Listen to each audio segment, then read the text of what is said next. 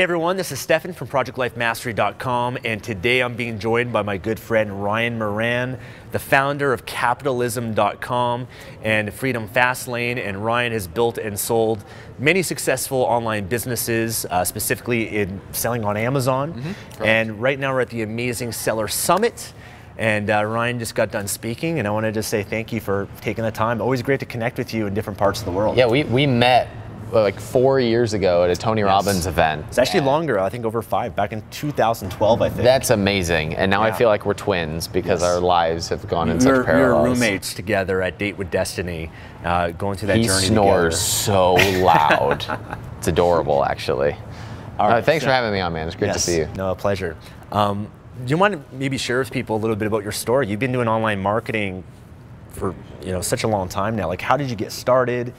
You know, and how did you get to where you're at today? Yeah, I started because when I was 15, I heard my mom in the other room crying because I had broken the washing machine. Right. And this baffled me because I worked at Dunkin' Donuts at the time, and even I could just take the money from the tip jar and pay right. for the washing machine. It was a $50 repair, but my mom was so frustrated, and I just decided that I would never have that type of life. And I just kind of laid my stake in the ground that I would have a very different life.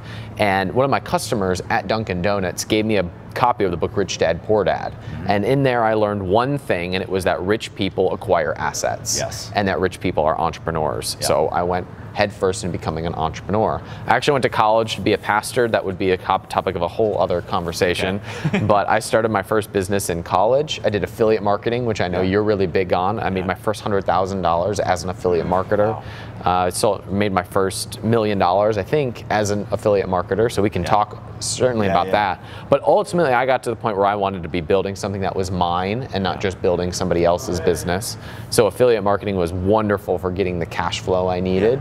And then uh, five years ago or so, I decided to take the skill set that I had learned as an affiliate marketer and start building physical products brands. And to this day, I believe the most predictable path to a seven-figure business is by building a physical products brand. Right. So I started, I had a company called Sheer Strength Labs, which I'm still a part of, but I sold a majority stake in that for, uh, you know, my my retire money. I can now, as long as I don't do anything stupid, I'm set for life. I built and sold a yoga brand called yeah. Zen Active Sports. I have a supplement company. Um, I have a, a, a, beauty and oils company called Foxbrim Naturals. Yeah. So I invest in physical products brands. I start physical products brands, and I, I believe that's the fastest and most predictable route to a seven-figure business. And you know, there's just so many. For those that are watching this right now, people know there's so many ways of getting started. Everybody wants to, to create the lifestyle that an online business can provide for them, but they're a little bit lost and confused. Where do I get started? I know Amazon's an opportunity. There's uh, affiliate marketing. There's publishing. There's info products. There's so many different um, things. What do you, you know, what have you found to be? You said Amazon is one of the best ones out there. Why do you think Amazon is such a great opportunity for someone that is brand new and wants to build an online business? I don't. Okay. I, well, here, here's what I mean. Amazon's a tool. Yes. But but the way that you get started yes. is that you you can get married to an opportunity, but it still requires you to define who you're going to be and what your business is going to be about. And Amazon is probably the best opportunity I've ever seen at being a vehicle for making that real. A lot of people think that Amazon is like the way. It's not the way, okay? It is it is not a religion. It is a tool to get whatever you believe in out to the world. So you know, I've always been interested in health and fitness. I wanted to have a physical products brand in the in the health and fitness space and Amazon has been a monster that continues to grow and grow and grow and to put any product on there is a phenomenal strategy for building the business that you want but you have to decide what the business is going to be. I violated a rule of business which is the there's this, there's this rule that a lot of marketers will tell you, which is you are not the customer. Don't try and make a product for yourself. And I have always violated that rule, and violating that rule has actually been really good for me because I know if I create something that I want, there's at least going to be one customer, and there's probably going to be a lot of people like me who want that same product. So I believe my strategy has been looking at who is the person that I'm serving, what needs do they have, identifying the products that would serve them, and then I can blog about Whether it. it's I can, physical or maybe digital. Exactly. yeah. So, so for example, I have a friend who's really into nootropics. He was really like s- talking about the brain. So, okay, what are for other people like you? If you had a blog that attracted those same people, what might they buy? What three to five products might they buy? And then go sell somebody else's product or your own to be able to start building that business. But it's about getting the people that are either like you or like the people you want to serve into one place on a blog, on an Instagram following, on an email list, and be able to release products to them. And that's that's how you get started by putting them into one place and then getting a customer and getting. I. I actually have the same approach because I find people come to me and say, "Hey, should I do Amazon or this or this?" And those are that's just a monetization Yeah, you're way of making money, right? right. And I I often look at okay, what is the the niche that you want to be a part of? If it, if it is fitness, and yeah, you got to attract people. Maybe it's through content marketing and build a list and get a following. But once you have that audience, you know what their needs are, what you want, to, how you want to serve them, and you can maybe know that before you get started. But now there's many ways you can make money from that. Whether it's products on Amazon, physical, affiliate marketing, information products, events, coaching, services. But now you've got multiple ways you can make money where you're not just limited to people think I'm just an Amazon business, Right. and you don't want to be just that because then you're so dependent on them, Right. and it's not really a sustainable business. Have you ever heard the be do have breakdown? Okay, So yeah. so there's there's who do you want to be, what do you want to do, and what do you want to have? Yes. And there's an order to that of be do have. But what most people do is they'll say, what do I want to have? I either want to have I want to have a ten thousand dollar a month income. Hey, what's what's the thing that's going to get me to ten thousand dollars a month? I say. The fastest way to get $10,000 a month is to go back and say, who do I want to be? What is my business going to be about? Who do I want to be around? Now, what do I do within that business? So, I want to be a fitness brand. Okay, what do I want to do? I want to sell travel gear, travel weightlifting stuff. I want to do, and I'll sell that on Amazon. And then I'll have Yeah. whatever the business gives me as a result of growing that.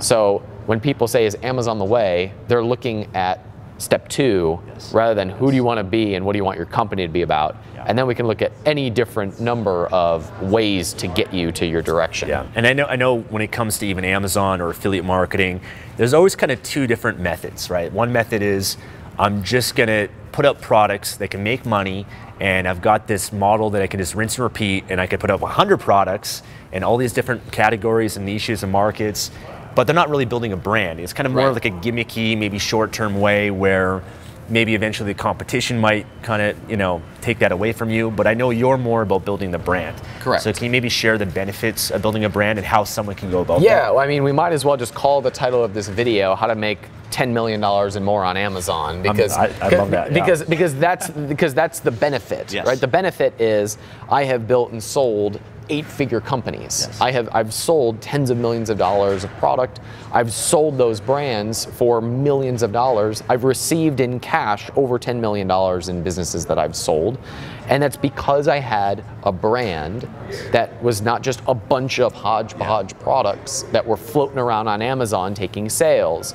If it was just that, what what do you sell? What is the asset that's being sold? Yeah. And the minute somebody comes out with a cheaper widget, yeah you're out of business. And that, I think that's probably the most commonly asked question I, I get asked is, what do I do when somebody undercuts me and is selling the same product as me? And I say, you, you did it wrong from the first place Yeah. because you're selling a product rather than building a brand. And the difference is a brand can sell the exact same product for twice as much because it is a brand and people will choose that because they believe or they identify with that brand versus I'm just going to buy an iPhone Yeah. case, runner case, whatever.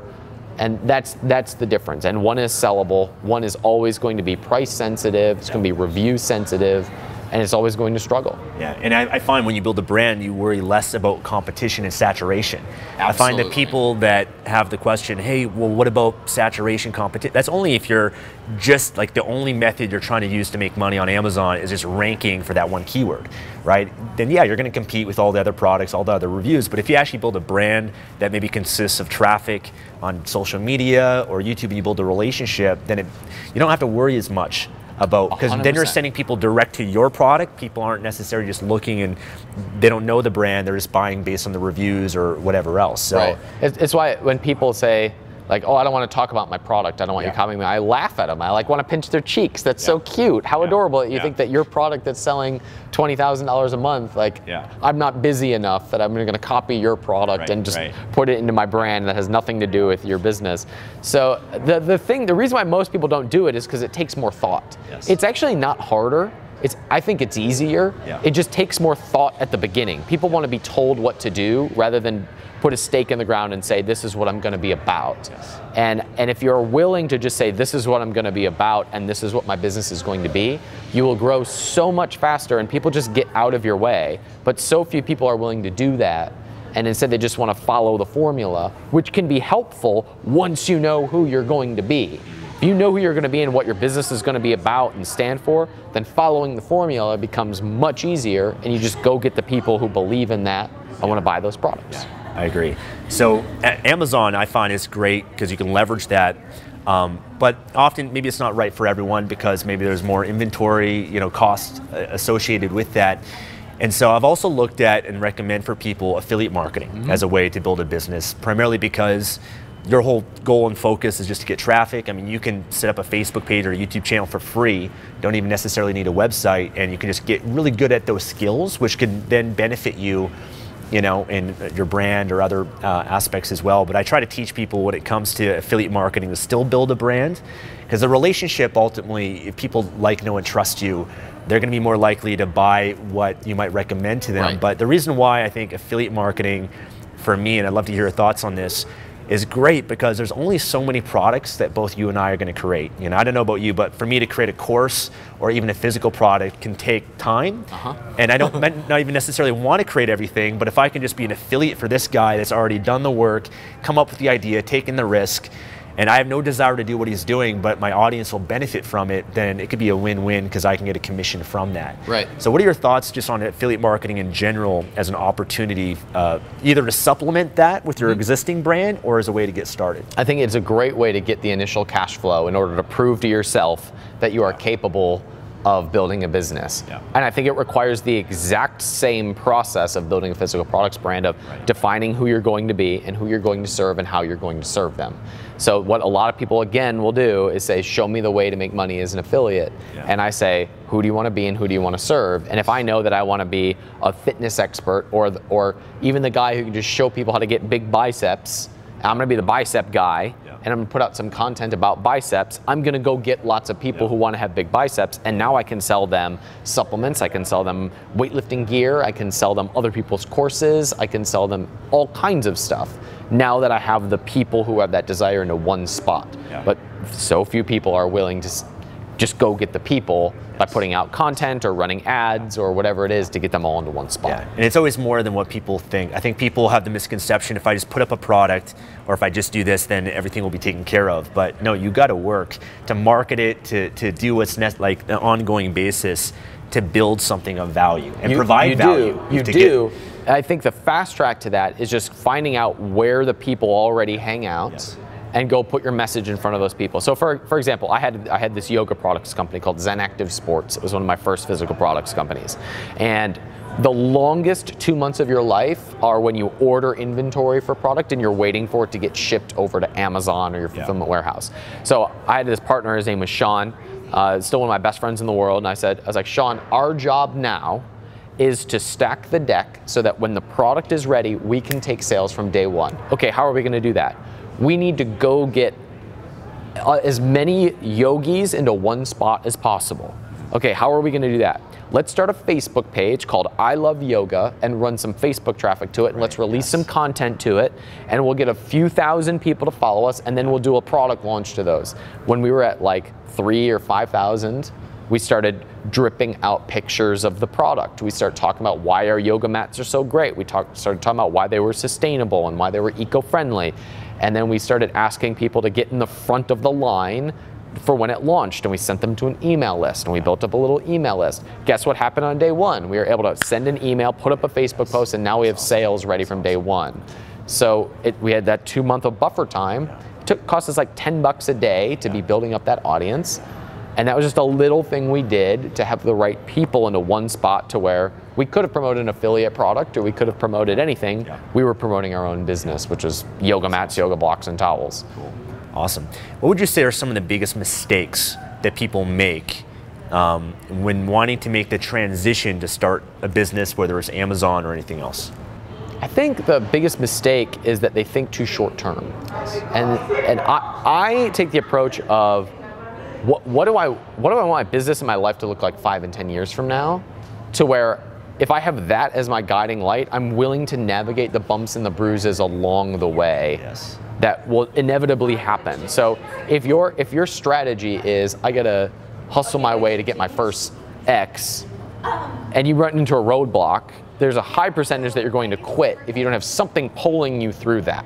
So for me, I'm not willing to start any project that I'm not willing to commit to for at least a year Yes. and then I'll, ana- I'll analyze the result. When I started my podcast, my Freedom Fastlane podcast, I said, I'm going to do this for a year and expect no result. And if in one year I don't like the result, I can quit. Yeah. But I can't analyze it until I'm at a year. Right. And that's that's when I can make the decision. And most people want the Im- immediate result. I, I, I am willing to take the te- next 10 years of building capitalism.com into a media empire and look back and say, am I happy or am I not happy? But I'm, I am going to be pulled through lots of challenges through that time, but I can't analyze the result or enjoy the financial benefit until the 10 year mark. Yeah. And that's when I can, I can decide if I like doing it or not. Yeah, the metaphor I've always used is starting a business is like having a baby, right? And I think a lot of people, you know, when you start a business or have a baby, it's going to require all your time and attention. Um, you're putting a lot into it. You're not getting any immediate return from it, and it's very different than having a job because people are used to having a job. I put in an hour, I get Yes. paid a guaranteed amount of money for that. Business is just you're putting in tons of time, ton, tons of work, you get no immediate return. It's only potential return in the future. Right. And how long does it take for a baby to start walking? Well, maybe the first few steps after nine months, and you know, 14 months the baby's walking. Well, same thing maybe with the business. It might take a year before it starts to be, be able to walk and really provide some of the results of the hard work. Yeah. And a lot of people, it's like they have a baby. It's not walking after three months. They get discouraged and they just get rid of it and they start a new, you know, have a new one. That's right? illegal. And they just repeat that process instead of. It's almost like they expect that they're going to maybe get rich after three months of doing something, but they're not thinking long term enough into Right. maybe a year plus of what the hard work they're going to do, what it's going to. Uh, So starting a business and having a baby, I've done both of these Okay, things, yes. A- and, You can share I, your experience. I have, I have experienced that there is the belief that once the the baby or the business is Right. born, then all the hard work is done. Yeah. But that's when it starts. Yes, That is, yes. and and the the first year is a whole lot of suck and a whole lot of no payoff. Yeah. You are living on excitement, and the Yeah. excitement is, oh my goodness, what's coming? In the business, it is we started this thing, we're taking sales, and now every dollar is going back into the business, and now. I got a bad review, or somebody sent me an email that said I suck. What do I do now? Yeah. And I'm both nervous and I'm excited, and you're, and then a year comes, and it's like, oh, that I can't believe it what has happened over the last year. But most people do want to quit before they get to that point where there's any payoff at all. Yeah, I agree. So just to wrap up, and any just final tips, advice for someone that's you know wanting to make that leap of faith? Maybe they've got a job, they want to you know get started in online business. What advice would you give to someone? Buy my stuff. Just buy all my stuff. Uh, I mean, the, the, too. the the biggest advice I would say is to look at the habits that are going to inevitably lead you to the to the end result that you want. And when it you, you and I both care about health and fitness, and we both know that you don't get fat from one meal and you don't get fit from one workout. It is the habits that you practice over a very long period of time that get you the result. One of the best books I've ever read is called The Slight Edge by Jeff Olson. And its main thesis is that the results that we get in our life do not come from big leaps. They come from constant habits that create big leaps. So most people only see the big leaps, but it comes as the result of there being years of certain habits that are practiced and then open up big opportunities. So it is swinging and missing a lot to go hit that home run. And I have swung and missed many, many times, and most people only see the home runs. Yeah, yeah. But that is because I was willing to suck until I didn't suck no more. Yes. Yes. And that's my secret to success, being That's willing great. to suck. That's great. I Love it. Awesome. I want to thank you so much. How can people learn more about you and check out your uh, YouTube channel? Yeah, my YouTube channel, just search for my name, Ryan Moran. Yeah. My podcast is called Freedom Fastlane. And we do trainings and courses for people who want to start businesses. I recently exited a business for eight figures. I enjoyed that for a few days. I was sitting on the couch Yeah. and I said, What am I going to do now? I want to buy the Cleveland Indians. That's my lifelong dream. And I said, Well, eight figures is cool. Let's do nine figures. So, my strategy there is we teach the business model of physical products and developing an online presence. And then in a few years, we'll take some of our students, do a big roll up, do a nine figure exit, and then maybe we'll look at a 10 figure exit. We'll, see, we'll see from there. But that's my strategy right now, and that's why I do what I do. I believe that entrepreneurs are the best shot we have at creating change in the world. I think that capitalism is, is the system through which we'll solve all of the world's problems, not through government, not through waiting for somebody else to do it, but by starting a business and taking control of your own life. And I talk about that all the time at capitalism.com. Cool. Well, thank you again. Thank you guys for watching. Hopefully, you guys enjoyed and benefited from this. And check out Ryan Moran, Freedom Fastlane, and capitalism.com. I'll provide some links below. But thank you guys, and thank you, Ryan. Thanks, man. I love what you're doing in the world. Thank you. Appreciate it. Cool. Hey, I just want to say thanks again for watching this video. And if you want to get started to build your own online business on Amazon, then I'd love to give you some free video training that I put together that shares with you more about this process and more in-depth, step-by-step, how you can get started to build your own online business on Amazon to create whatever kind of internet lifestyle that you want for yourself.